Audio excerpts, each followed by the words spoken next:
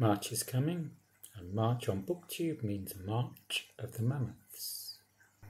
Hello, my name is Jim, and this is my BookTube channel about books, reading, and stuff. So, what is March of the Mammoths? A mammoth in BookTube is any book which is longer than 800 pages. The last mammoth I read was Anna Karenina. This was back in 2021 this weighs in at 806 pages. Other editions will weigh in at different numbers of pages, but this is a mammoth. It's a big book, a lengthy book. The idea of March the Mammoth is that by reading a large book, we'll get a more enriched reading experience. This is the era of social media and many distractions, and we tend to favour shorter books. In my last video, I talked about my comfort zone. And I have a comfort zone for reading as well. Books between 250 and 400 pages, about this size, are what I feel comfortable reading. Also comfortable holding. It's not too heavy. Anything shorter than 250 pages, and I, the story's finished before it's almost started. But this is a comfortable size for me.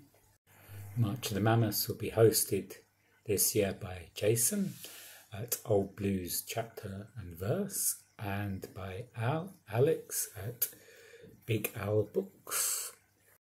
Last year I didn't read a single mammoth by the 800 page plus definitions. I did read Bleak House.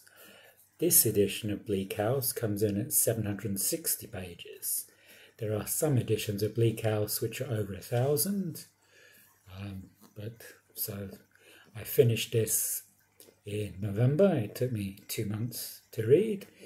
If you take part in March the Mammoth, you don't have to read the whole mammoth in the month of March.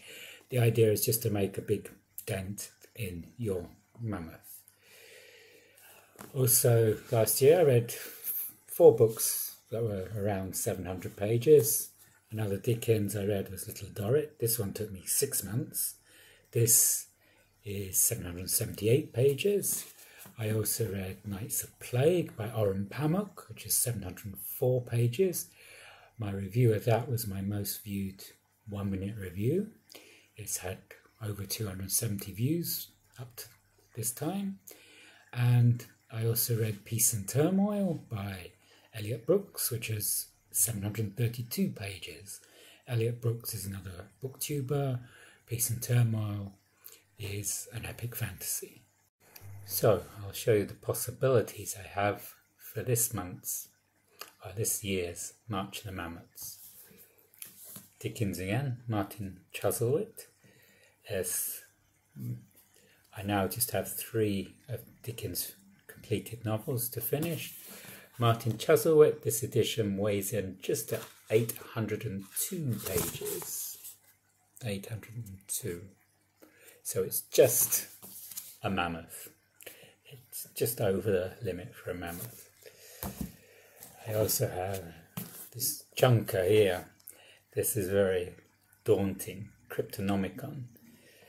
This version is 910 pages, although I've seen there are some versions of Cryptonomicon which are 1,152 pages. This is something of a mammoth. The other two I have on Kindle. There's Stalin, The Court of the Red Tsar by Simon Sebag Montefiore. I read and enjoyed Young Stalin. Stalin, The Court of the Red Tsar weighs in 850 pages and I've already read 370 of those. I started it in January so I can continue with that in March. And the fourth book I have is The Ember Blade, which is an epic fantasy, which was recommended by one of the fantasy YouTubers. I can't remember now whether it's Merphy Napier or Elliot Brooks, but they really enjoyed it and raved about it. So, and The Ember Blade weighs in 826 pages. So those are my mammoths, my mammoth possibilities. I'll put a poll on my community tab. You can tell me which one you think I should read the four. Are you taking part in March the Mammoths? Do you have any mammoths on your shelves you'd like to read? Let me know in the comments below. If you enjoyed this video, you can like. This will help me with the YouTube algorithm. And I will see you on the next video. Goodbye.